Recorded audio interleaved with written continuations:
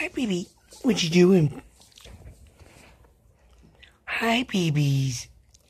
Say hi, mamas. Hi, mamas. We miss you.